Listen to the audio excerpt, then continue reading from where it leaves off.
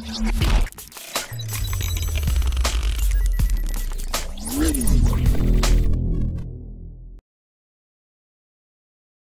Friends sports பற்றின செய்திகளை உடனுக்குடனாக தெரிஞ்சுக்கொள்ள நம்ம தமிழ் கிரிக்கெட் சேனலை சப்ஸ்கிரைப் பண்ணுங்க.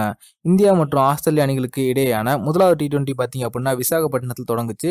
இதில் முதல்ல டாஸ் வின் பண்ண ஆஸ்திரேலியா ஃபீல்டிங்கை தேர்வு செஞ்சாங்க.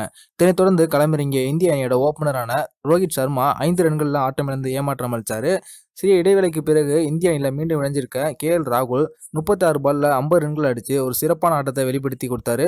இந்திய அணியில் பார்த்தீங்க அப்படின்னா அதிகபட்சமாக கே எல் ராகுல் ஐம்பது ரன்னும் விராட் கோலி இருபத்தி நாலு ரன்னும் கடைசி வரை போராடிய மகேந்திர சிங் தோனி முப்பத்தி ஆறு பாலில் இருபத்தி ஒம்பது ரன் தான் அடித்தார் இந்திய அணியை எப்படியாவது ஒரு கௌரவமான ஸ்கோரை எட்ட வச்சிடணும் அப்படின்னு தோனி போராடின போதும் ஆனால் ஆஸ்திரேலியா பவுலர்கள் ரொம்பவே திறம்பட பவுலிங் வீசி அவரை பெரிய ஸ்கோர் அடிக்காம தடுத்துட்டாங்க. இதனால இந்திய அணி பார்த்தீங்க அப்படின்னா இருபது ஓவர் முடிவில் நூற்றி இருபத்தி ஆறு ரன் எடுத்து ஏழு விக்கெட் இழந்திருந்தாங்க. அதனைத் தொடர்ந்து கிளம்பினீங்க. ஆஸ்திரேலிய அணி பார்த்தீங்க அப்படின்னா அஞ்சு ரன்னுக்கே ரெண்டு விக்கெட் இழந்து தடுமாறினாங்க.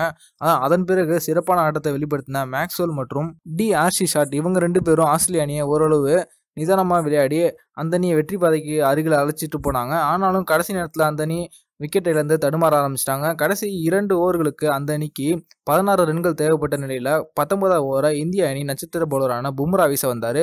அந்த ஓவரை செம்மையாக வீசின பும்ரா ரெண்டு ரன் மட்டுமே விட்டு கொடுத்து இரண்டு விக்கெட்டுகள் வேற கைப்பற்றினார். கடைசி ஓவருக்கு பதினாலு ரன் தேவைப்பட்ட நிலையில களத்துல ஜெய் மற்றும் பேட் கம்மின்சன் இவங்க ரெண்டு பேரும் இருந்தாங்க. அந்த ஓவரை உமேஷ் யாதவ் வந்து வீச வந்தாரு. அந்த ஓவருக்கு பதினாலு ரன்கள் வந்து தேவைப்பட்டுச்சு. அந்த ஓவரில் அவங்க ரெண்டு பேரும் இரண்டு ஃபோர் உட்பட பதினாலு ரன்களை எடுத்து அந்த அணி வெற்றி பெற்றுச்சு. கடைசி ஒரு பாலுக்கு இரண்டு ரன் தேவைப்பட்ட நிலையில் அந்த அணி பேட்டில் தட்டி விட்டு இரண்டு ரன் ஓடி ஈஸியாக வெற்றி பெற்றுட்டாங்க. இது வந்து இந்திய அரசிகளுக்கு ஒரு பெரிய ஏமாற்றத்தை கொடுத்துச்சு அப்படின்னே சொல்லலாம். இருந்தாலும் இந்திய அணி பவுலரான பும்ரா ரொம்ப சிறப்பாக வந்து வீசினது. அனைவரோட பாராட்டுகளையும் பெற்று வந்துட்டு இருக்காரு. இதன் மூலமாக இரண்டு போட்டிகள் கொண்ட டி டுவெண்ட்டி தொடரை பார்த்தீங்க அப்படின்னா ஆஸ்திரேலிய அணி ஒன்றுக்கு ஜீரோ என்ற நிலையில் முன்னிலை வைக்கிறாங்க. இரண்டாவது போட்டியில் இந்திய அணி வெற்றி பெறாங்களா அப்படிங்கிறத நம்ம பொறுத்திருந்து பார்ப்போம். இந்த வீடியோ உங்களுக்கு பிடிச்சிருந்துச்சுன்னா லைக் பண்ணுங்கள் ஷேர் பண்ணுங்கள்